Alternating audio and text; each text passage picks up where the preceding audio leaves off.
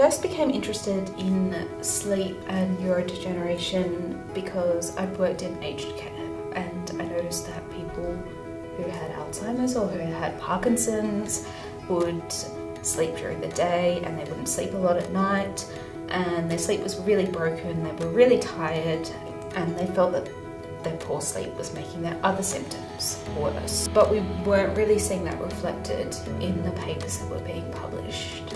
We really wanted to get a good handle on what was going on and to see if we could get a link between sleep symptoms or particular types of sleep symptoms in some patients with Parkinson's and the types of cognitive problems they had.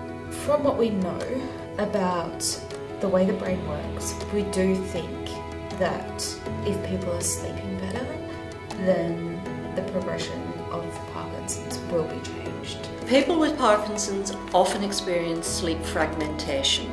So broken sleep is, is definitely a feature of the condition, but the causes for that broken sleep are all varied and unique to the person experiencing them. So it might be uh, dystonia or pain, it might be a breakthrough of the symptoms, it might be urinary problems, it might be vivid dreams and uh, behavioural sleep disorder. The best thing a person with Parkinson's can do is to analyse what is actually breaking my sleep.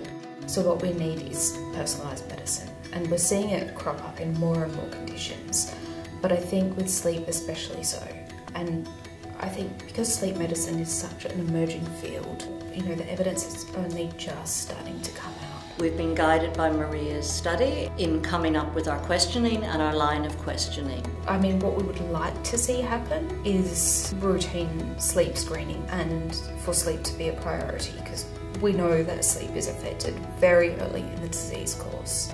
What we've started to do is really change the conversation around sleep and just because you have been diagnosed with Parkinson's doesn't mean that it's acceptable for anyone to go, well, you know, that's just what you've got to expect now.